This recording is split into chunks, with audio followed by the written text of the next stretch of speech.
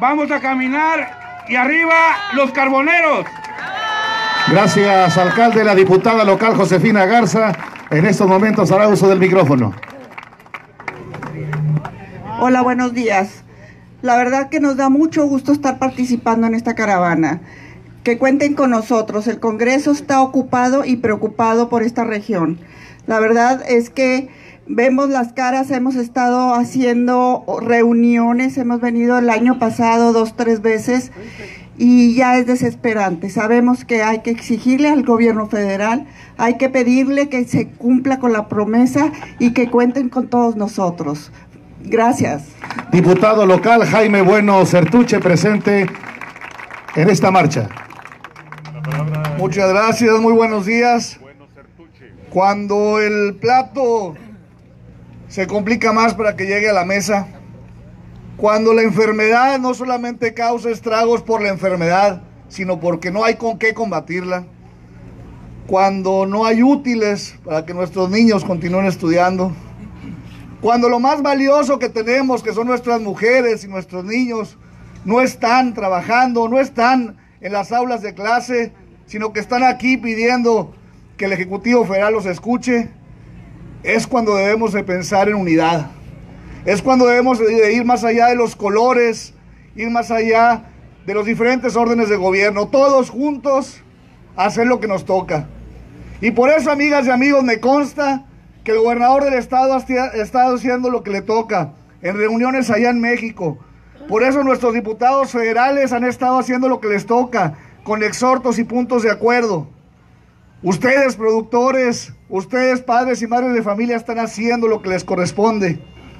Cada uno y cada una de nosotros debemos estar haciendo esta unidad, esta fuerza, para que juntos nos escuchen, Hoy los senadores están en México haciendo también lo que les toca y el día de mañana, en la 61 legislatura, estaremos llevando un exhorto donde nos sumamos al de los senadores, donde pedimos que se declare zona de emergencia económica en la región carbonífera y la región centro, donde le pedimos a la Secretaría de Economía, a la Secretaría del Trabajo y también a la Secretaría de Hacienda que tracen la ruta indicada y la estrategia indicada para que esta región esté donde debe estar, arriba y adelante. Muchísimas gracias. Gracias, diputado. La presidenta municipal de Juárez, al lado derecho, María del Carmen Durón Olivares.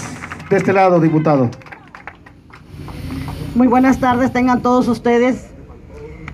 El municipio de Villa de Juárez se une a esta caravana pacífica con motivo de apoyar a todas las familias para que lleven sus esposos todo lo necesario para que vivamos todos tranquilos como antes lo estábamos antes de suceder esto.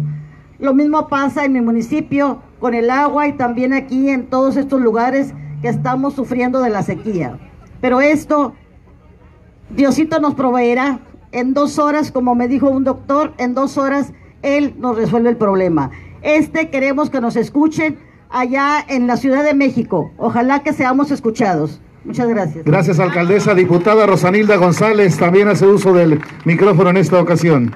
Muy buenos días a todos y a todas. Es lamentable que estemos reunidos aquí para esto, la verdad. Yo sí quiero reconocer, si me hacen favor, mis compañeras de la Comisión de Energía, Hidrocarburos, Minería, por favor, Gaby, Josefina.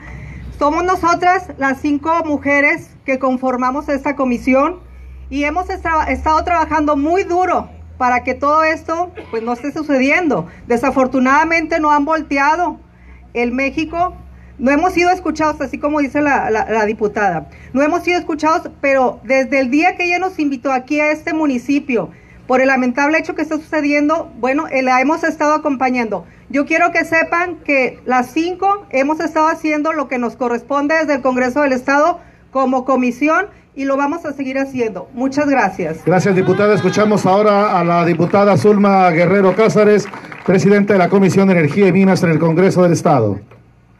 Muy buenos días a todos. El compromiso, hoy es momento de reiterar ese compromiso con el respaldo de las familias de la región carbonífera, con el respaldo de las autoridades de los cinco alcaldes de esta alcaldes y alcaldesas de esta región carbonífera.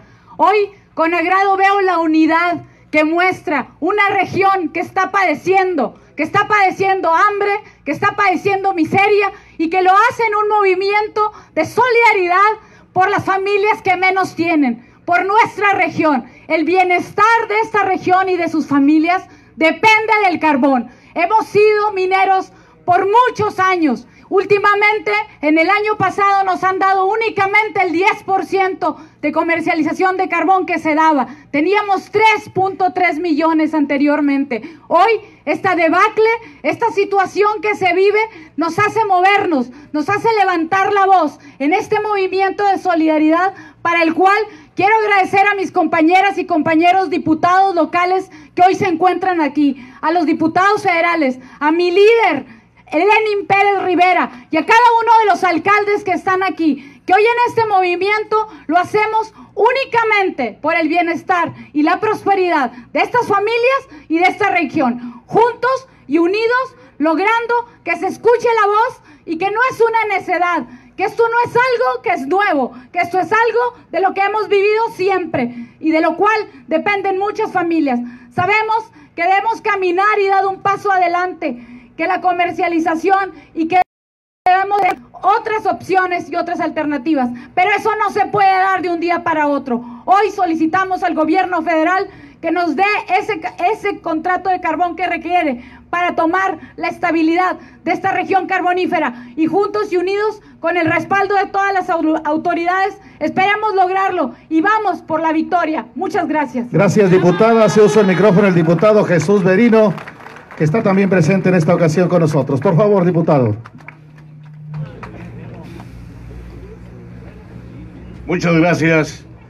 Bueno, miren, la verdad, desde que estuvimos escuchando allá adentro las preguntas que se hacían, yo creo que son preguntas muy válidas y todas y cada una de ellas fueron contestadas con certeza.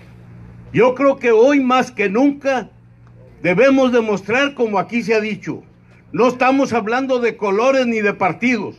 Estamos hablando de hermanos de clase que hoy están padeciendo y que verdaderamente no se vale que nos vengan a decir que sí nos van a ayudar y apoyar y que a final de cuentas no encontremos ese apoyo. Yo creo que todas esas preguntas yo diría que las podemos concretizar nada más en una sola unidad de todo Coahuila, que todo Coahuila se una a esta causa, que vean, que vean las autoridades federales que en Coahuila somos hermanos, que en Coahuila nos apoyamos todos y que en Coahuila vamos a protestar en forma conjunta. Muchas gracias y estamos con ustedes los diputados locales. Gracias diputado. Así usó el micrófono el presidente municipal de San Juan de Sabinas, Julio Iván Lón Hernández. Muy buenos muy buenas tardes tengan todos ustedes. Aquí en Sabinas, en este evento, está la fuerza de los mineros, está la fuerza de sus familias, está la fuerza de los empresarios, está la fuerza de todos los actores políticos y económicos, de todos los órdenes de gobierno y de toda la región carbonífera. Y el día de hoy, esta fuerza, estoy plenamente seguro, que va a llegar hasta la Ciudad de México y que aquí le exigimos al gobierno federal que cumpla con su palabra. Le exigimos que solicite que los, que los carboneros surtan el 33% a los que tenemos derecho en el carbón y que de igual manera las familias de los cinco municipios de la región carbonífera sean escuchadas, que los mineros no padezcan hambre, que los mineros mantengan sus trabajos, que sean contratos multianuales y contratos permanentes, para que los carboneros puedan invertir con certeza jurídica y con certeza económica y que de esta manera los desarrollos mineros sigan subsistiendo, que los empleos sigan subsistiendo. No queremos migajas, no queremos pedidos emergentes, queremos seguridad económica, Queremos pedidos multianuales y yo estoy seguro que desde aquí vamos a ser escuchados. Cada quien está haciendo lo suyo. El gobernador Miguel Riquelme está haciendo su chamba. Los diputados también. Los alcaldes. Todos nosotros estamos haciendo nuestro trabajo para poder cumplir con el objetivo que todos queremos, que la carbonífera siga adelante, que siga viviendo y que no se pierdan los empleos que tantos años nos ha costado tener en nuestra querida región. Éxito para todos. Muchas gracias. Gracias, presidente. Diputada local Verónica Boreque Martínez González hace uso del micrófono en esta tribuna. Buenos días, compañeras y compañeros. La región carbonífera exige justicia y esto es lo que hace que tengamos que hacer esta caravana pacífica. ¿Qué necesidad tenemos? ¿Qué necesidad tenemos de estar haciendo esto? Si los pedidos se hubieran entregado a tiempo, si se hubiera cumplido con la palabra del presidente. Hoy estamos todos unidos, todos los colores de partidos estamos unidos porque esto no es una cuestión de partidos, es una cuestión humana, es una cuestión de justicia. Las familias de la región carbonífera ya no pueden sostener esta situación. Estamos aquí desde el gobernador, desde los senadores, desde los diputados federales, desde los diputados locales, los alcaldes, las alcaldesas, aquí para apoyarlos, porque todos unidos vamos a hacer que nuestra voz se escuche. Vamos a llegar con esta caravana y hacer lo que se tenga que hacer.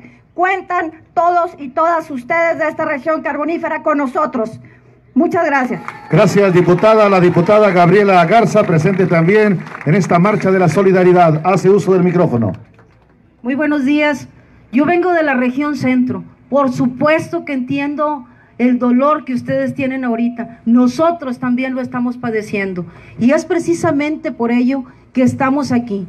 Que todos y cada uno de nosotros, los que nos ven aquí presentes, desde nuestra trinchera, estamos haciendo lo correspondiente para que nuestra voz sea escuchada, para que volteen, para exigir simple y sencillamente lo que es nuestro, lo que nos pertenece.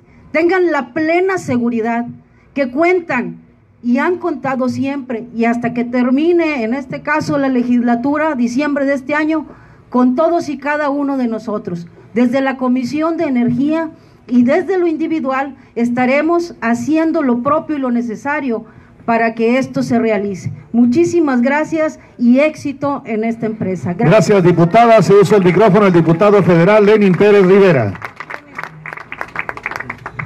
Muy buenas tardes, compañeras y compañeros. Qué gusto estar esta tarde con ustedes. Hace unos días una compañera de la prensa, aquí en el informe de Zulma, me entrevistaba y me preguntaba sobre la problemática que estaba viviendo la región por la falta de la compra del carbón. Yo lo decía con todo respeto en aquel día, que me llamaba la atención conociendo la historia de este pueblo valiente, de por qué no reaccionaba, y que con todo respeto yo los estaba viendo un poquito agachones.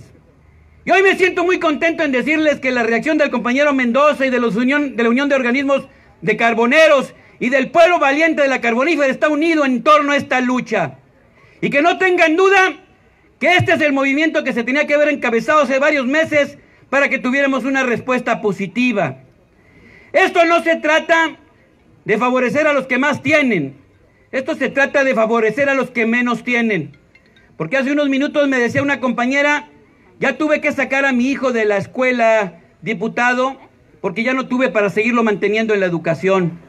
Y hace unos días me platicaba Tania Flores en Musquis que a los niños les están dando de comer ya dos veces al día. Eso es lo que está pasando en la región cuando de tajo se cortan los recursos que sostienen la economía de este lugar. Por eso, compañeras y compañeros, nuestro compromiso es firme. Allá en la Cámara de Diputados lo hemos estado haciendo en la Comisión de Energía, lo hemos hecho en la tribuna, lo hemos hecho cada semana y seguiremos dando la pelea junto con ustedes, hombro a hombro, luchando para seguir logrando las causas que provoquen que esta región pueda reactivarse en la economía que necesita para crecer y desarrollarse. Y tenemos claro que tenemos que ir pensando en las alternativas económicas para que tengamos otras opciones de generación de empleo y de desarrollo. Pero mientras tanto, no puede exigir, no puede venir la insensibilidad del gobierno de, de truncar de golpe la compra del carbón. Vamos pues, compañeros, juntos a enarbolar las banderas de la dignidad del pueblo de la carbonífera y vamos a triunfar. Hasta la victoria, compañeros, venceremos. Gracias, diputado. Hace uso del micrófono el presidente municipal de Sabinas, Coahuila, Cuauhtémoc Rodríguez Villarreal. Muchas gracias, Hugo. Muy buenos días a todas y todos ustedes, hermanos todos y hermanas. Sí, me da mucho gusto la presencia de los cinco alcaldes, de las cuatro alcaldes de la Carbonífera y su servidor cinco. Sí, estamos luchando por la misma causa. Aparte de ser alcalde, también soy productor. Pero lo más importante de los productores de carbón es el empleo que generamos. Son las familias que sostenemos y la economía que tenemos aquí en la región. También agradezco a los diputados locales que se dieron la tarea de venir. Siempre nos han visitado, pero ahora tenemos la fuerza de ellos también. Muchas gracias, diputados, por estar con nosotros. Y mi amigo Lenin Pérez Rivera, diputado federal. Gracias, pues, señor, por estar con nosotros. Un gran líder, un gran chamán. Primero, sí, es adivino, señor. Pues es que dijo Primero nos desgracian con la reforma energética quitándonos el fondo minero. ¿De qué se trata? Sí, se trata de desmadrar al municipio o los municipios o los estados. Me imagino yo. Porque primero fue el fondo minero. 52 millones de pesos que se ejercían en este municipio ya no se van a ejercer. Y ni siquiera nos dicen en dónde los van a aplicar. Estamos de acuerdo en que se reparta la riqueza. Pero si está afectado un municipio por la devastación minera, pues es justo que se aplique aquí. Pues ya no lo quitaron, ya no lo tenemos. Nos quitaron el fondo de concurrencia al campo, también nos lo quitaron, ya no hay. Y nos disminuyeron un 30% las participaciones económicas del gobierno federal. Así es de que nos llega la mitad del presupuesto para empezar y ahora nos desmadran con no darnos trabajo. De perdido queremos el trabajo. Nosotros sabemos trabajar, sabemos salir adelante. Tenemos años trabajando en la industria del carbón. No queremos que nos declaren zona de desastre y que nos condonen impuestos. Queremos pagar el impuesto. Pero queremos el trabajo principalmente, que es el sostenimiento de nuestro pueblo, de nuestra gente, de nuestros hermanos. Es la base de la economía el carbón. Así es de que este rol ya se coció. Y paso firme y para adelante. Ni un paso para atrás ni para agarrar vuelo. Todos juntos y unidos hacia la Comisión Federal. Para adelante, gracias. Muchas gracias, señor presidente. Amigos nuestros, que se sienta la fuerza de la gente de la región carbonífera en esta marcha de la solidaridad.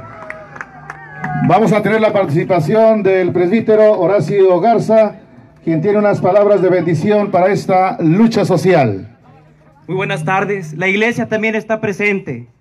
Ustedes ahorita eh, pedían al, al presidente que escuche, pues nos vamos más arriba hacia Dios. A Dios le pedimos por este pueblo que está sufriendo. Lo vemos constantemente en nuestra sociedad. El trabajo, tenemos que luchar muchos con muchos obstáculos. La excesiva burocracia, la lentitud de las decisiones públicas, la falta de infraestructuras adecuadas que a menudo no dejan salir las mejores energías. Me dirijo a ustedes por, para compartir una palabra de cercanía, de consuelo y de ánimo, hermanos, ante los obstáculos con los que cada una día, cada día nos enfrentamos. Lo que comparto en esta mañana, en esta tarde con todos ustedes es la bendición de Dios. A una premisa. El mundo del trabajo es una prioridad humana y por tanto es una prioridad cristiana, una prioridad nuestra y también una prioridad de la iglesia porque viene de aquel mandamiento que Dios dio a Adán. Ve y haz crecer la tierra, trabaja la tierra, domínala. Siempre ha habido una amistad entre la iglesia y el trabajo, partiendo de Jesús, trabajador. Donde hay un trabajador, ahí está el interés y la mirada del amor del Señor y de la iglesia. Pienso que está claro. El desempleo es uno de los problemas más graves de la sociedad, el origen de muchos conflictos personales, familiares, morales y humanos. Un paro generalizado es un mal social, un desorden moral, un drama humano el que es necesario poner remedio con carácter prioritario. Todos estamos llamados a contribuir en la solución del problema, porque todos somos responsables de cuanto afecta a la comunidad humana a la que pertenecemos. En la medida de sus limitadas posibilidades, la Iglesia promueve diversas iniciativas, tanto para el conocimiento y difusión de la doctrina social de la Iglesia, para contribuir positivamente a redimiar, a redimiar el desempleo. Organizaciones, la Iglesia realiza constantemente la labor de acercarse a la gente que trabaja. Y aquí está el pueblo que sufre porque dependen sus familias del sustento diario. Y el pueblo ahorita no tiene muchas veces ni lo necesario, como lo escuchamos ahorita para comer, porque vivimos del carbón. Yo soy de la región carbonífera y sé, he vivido y estoy ahorita en esta región sirviendo al pueblo de Dios y escucho muchas cosas. Por ejemplo, sé que me estoy tardando, pero es necesario. Tenemos reuniones, no vamos porque no tenemos porque tenemos desempleo y pues no tenemos ni siquiera gasolina para, para ponerle al carro. La comunidad cristiana está cerca de ustedes, pensando por esta dolorosa situación de desempleo. Más allá de cualquier calificación laboral, los grupos sindicales a los que pertenezcan, de las ideas que signan o de la religión que practiquen en su condición de personas, como dignidad que tenemos de respetar y defender. La misión de la iglesia no es social, sino religiosa. Su función es la de predicar el Evangelio. Sin embargo, termino con esto. Como madre, la iglesia se ocupa de que a, todo lo que atañe al hombre, con respeto al trabajo, lo ha elevado a una categoría y dignidad muy altos. Considerámoslos un derecho del hombre que la hace más humana. En repetidas ocasiones ha instado, ha instado a los gobiernos a que busquen por todos los medios hacer que se cumpla el derecho del pueblo. Mi oración por todos ustedes. La iglesia también se hace presente con ustedes, porque la iglesia es madre y sufre por todos sus hijos. Que Dios los bendiga y que en esta caravana podamos recibir de parte del presidente una respuesta para bien de todo el pueblo de Dios. Que Dios los bendiga en nombre del Padre, del Hijo y del Espíritu Santo. Gracias. Muchas gracias, Padre Horacio Garza. Gracias también a los diputados federales, locales, a los alcaldes de la región carbonífera, a los productores, por estarnos aquí acompañando. Amigos nuestros, vamos a reanudar esta marcha. Vamos a continuar en la lucha. Vamos a juntarnos, por favor, aquí en el templete para la fotografía que quieren los compañeros de los medios de comunicación, esta fotografía histórica, esta fotografía que quede...